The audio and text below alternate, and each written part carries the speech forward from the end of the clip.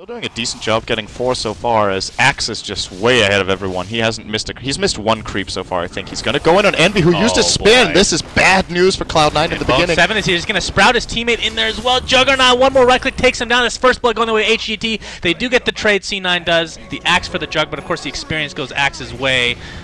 Healing ward. Is he going trying to to? be delicious.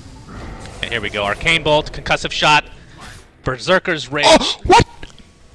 He got He died to that the- one. Get aggressive. Here comes the Impaled on Kaka. TP support's on the way. Big Daddy No Tail gets silenced. Fade Bolt not quite going to be enough to take him out. In fact, the right clicks will take down Kaka in the end. And Big Daddy No Tail, he gets Berserker Call through the Sprout. It's going to be a one for one trade for now.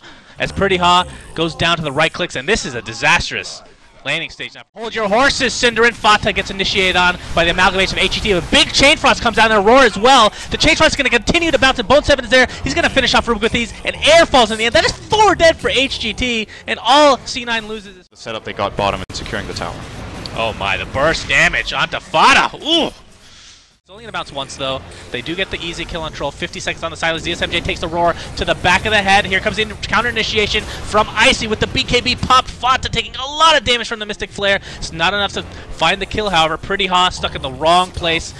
Only a couple attacks from Bone 7 are going to be enough. And now Icy completely mana drain with the Necro Book, along with the mana drain from Lion. That's three dead. With no Oh, tail. Bone 7! There's the sheep from No Tail.